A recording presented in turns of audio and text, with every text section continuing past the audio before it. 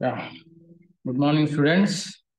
Today we'll discuss about science and society. How science influences on society. The importance of science on society. And in, we'll see in this video introduction, science in society, nature of science, impact on human life. So, education is fundamental for achieving human potential, developing an equitable society, and promoting national development. So, human life needs development and promotion. So, it has specific role as well as variety of functions for the benefit of our society. Creating new knowledge, improving education, and increasing the quality of our lives. So knowledge plays very important role. Knowledge is very, very important in functioning the day-to-day -day life. So knowledge implies an active involvement of understanding and the ability to extend the level of understanding to meet life contingencies. To solve day-to-day -day our problems, knowledge is required. So science plays very important role in providing the knowledge and it will be benefited by the society. So the, the main purpose of education system is to become a good human beings. So education plays very important role. Education is the manifestation of perfection already reached in man as Vivekananda. So capable of rational thought and action, creative, imagination, knowledge, skills, values, scientific temper, sustainable development, global well-being, and reflecting finally a global citizen. This is the purpose of the education system. So if you see here, science, science and society and technology is a triangle approach. It plays very important role. So science in society leads an innovation. Science always seeks to improve the nation. So at the same time, society demands for happy life. So technology use the application of scientific knowledge for specific goal and specific purposes. So science is the part of the society. We cannot bifurcate it. It is the same side of the two sides of the same kind.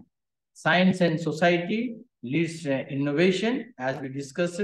Integrating science and society can lead to innovative outcomes for academic research, environmental health, and social well-being. So if you see here, science plays very important role in society, mainly the stakeholders, their activities, their engagement, their societal problem, there are variety of cultures and responsibilities, issues, social issues, uh, everything plays very important role in a society. So exploring interaction between the social world, technology, and scientific innovations are the main areas of science and society. So science is a key driver to drive society to become more advanced and people can live a better life. With science, people can live better life. Society provides the foundations for science. Society provides the foundations for science. So if you see how our Indian education system, various commissions are taking place. Indian Education Commission, popularly known as Kothari Commission, recommended that science should be taught as a discipline of the mind and preparation of higher education. So it is a discipline of the mind and a preparation for higher education. It is the main emphasis on Indian Education Commission on Science. So Kothari Commission, continuous process, forming an integral part of the total system of education. So which intimately related to educational objectives. So there is a great need for compulsory implementation of instruction of the national curriculum framework, which emphasizes linking of the science teaching with local environment. So science NCF is emphasizing science should be always deals with local environments, teaching with local context. So NCF 2005 in its objectives focusing on science teaching to help students to comprehend concepts, principles, and laws of science and not just know the formal definitions. There is no need of formal definitions. Formal definitions will give the core areas of knowledge, but how students need to learn the application of science into your real world problems. There is a need to provide in-depth understanding of the core areas of science. So without science, there is no life. In the same way, so NCF, Kothari Commission emphasizing on science education to perform experiments as a tool to discover, to verify theoretical principles, to develop skills of problem solving, critical investigation of different topics. This is the National Curriculum Framework 2005 emphasizes on participating in the co-curricular activities, national science fairs, investigating projects, adoption of problem-solving approach, and local issues involving science and technology. So Right to Education Act 2009 suggested that achievement of learning competencies among children is very, very important. The more emphasizing on science teaching should be in such a way that it would help cultivate the new generation with scientific thinking. So scientific thinking is always required for the children so National Education Policy 2020 is also emphasizing education system rooted in Indian ethos that contributes directly to transforming India, that is Bharat, sustainably into an equitable and vibrant knowledge society by providing high quality education to all, thereby making India a global knowledge superpower.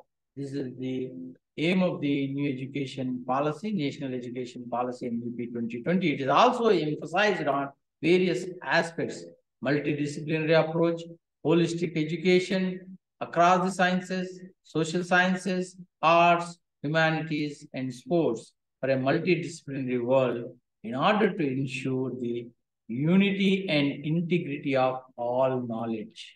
This is the focus on NEP 2020. It is also emphasizing on conceptual understanding, creativity and critical thinking, life skills is required, extensive use of technology is required, respect for diversity, respect for the local context, synergy in curriculum across all levels of education to the development of the creative potential of each individual. So if you see how science is originated, how science is helpful, how science is linking with the other disciplines, science originates from the Latin verb scientia. It means to know. So science is an organized study of knowledge which is based on experimentation. So it is based on experimentation. Science is a tool for searching truths of nature. So science always search for the truth in the nature. So science will provide the solutions to the problems. Science is the way of exploring the world. Science is an empirical observation. So science results in the formation of concepts and theories, with both concepts and theories being subject to modification in the light of further empirical observation. So finally, we can say that science is a global human endeavor. So people all over the world participate in the process of science. So science is a body of knowledge and the process of acquiring it.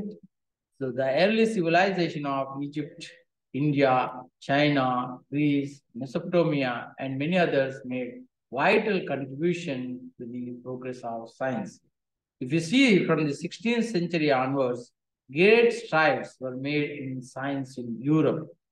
By the middle of the 20th century, science had become a truly international enterprise with many cultures and countries contributing its rapid growth. Science is systematic attempt to understand natural phenomena in much detail and depth as possible. Use the knowledge so gained to predict, modify, and control the phenomena. So science is exploring, experimenting, predicting from what we see around us. So science always gives exploration, experimentation, prediction for what is going to happen on around us. So it predicts the weather, it predicts the uh, rainfall system, it predicts the temperature. So science always explores the human world. So if we see the nature of science, it is a critical component of scientific literacy that enhances students' understandings of science concepts and enables them to make decisions about scientifically based personal and societal issues. So nature of science always characterized as a body of knowledge obtained by scientists. So it is a body of knowledge obtained by the scientists. So body of knowledge includes here facts, concepts, theories that are subject to error and change. So various types of scientific knowledge exist in the form of facts, concepts, principles, and laws. So science plays very important role in human life. Without science, we would not have technologies like computers, internet, cars, and so on. These inventions transform how humans live in the world, including how we travel, how we communicate, and how we learn. So finally, we can say that science generates solutions for everyday life and helps us to answer the great mysteries of the universe. So science plays very, very important role in society to lead the innovation. So, so science is always use the innovations.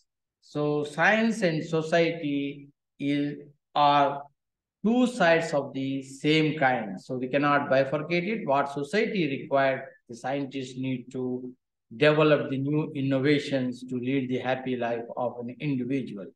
So thank you.